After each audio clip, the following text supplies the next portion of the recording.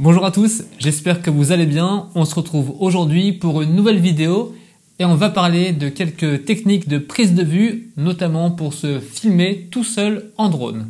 C'est parti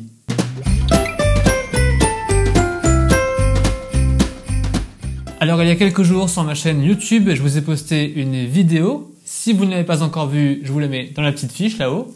Et dans cette vidéo, je me filmais tout seul en drone. Alors j'ai voulu vous donner quelques tuyaux pour que vous puissiez vous aussi vous filmer avec votre drone tout seul. Pour ça, je vais vous donner quatre façons différentes de vous filmer avec votre drone. On va commencer par peut-être la prise de vue la plus simple, le déplacement progressif du drone. Alors qu'est-ce que c'est? Afin de voir à quoi ça ressemble, on regarde un extrait.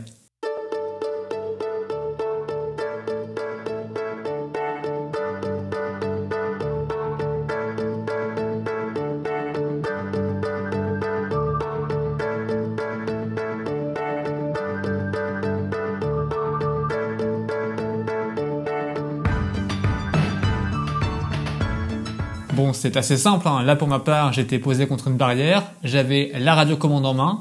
Alors, je touche quasiment pas au gaz. Je fais juste avancer le drone en remontant légèrement la caméra pour ensuite finir sur un panorama. C'est assez simple et le résultat est plutôt sympa.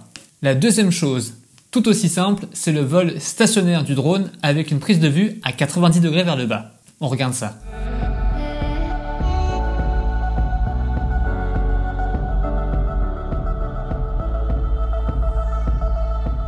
Bon là c'est vraiment la prise de vue euh, toute bête. Si vous manque quelques secondes dans un plan ou pour faire une transition, faites un 90 degrés. Là c'est simple, le drone est en stationnaire, la caméra est à 90 degrés vers le bas et vous vous passez dans l'écran de gauche à droite, de droite à gauche, d'avant en arrière, etc. Mon troisième façon de se filmer soi-même avec le drone, le POI, le point d'intérêt, Point of Interest en anglais. Bon là c'est assez simple hein, puisque l'application DJI Go 4 intègre ce mode de vol, on voit ce que ça donne en image.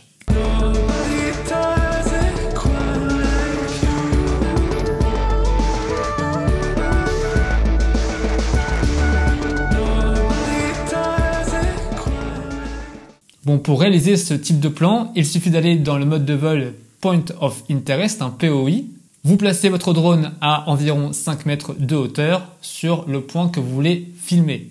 Une fois que c'est fait, vous l'appliquez et vous reculez votre drone d'environ 5-6 mètres. Vous lancez ensuite le POI, puis vous lancez l'enregistrement vidéo et voilà. Alors ensuite, vous pouvez garder la radiocommande en main pour par exemple, comme j'ai fait, eh bien, soit prendre de la hauteur en mettant les gaz, soit s'éloigner du point d'intérêt, en l'occurrence vous dans la vidéo. Bon, jusqu'à maintenant, soit que vous, soit que le drone était en mouvement. Pour le quatrième point, vous et le drone seraient en mouvement. Et pour ça, on va utiliser l'Active Track. Là aussi, l'application DJI Go 4 intègre ce mode de vol et on voit ce que ça donne.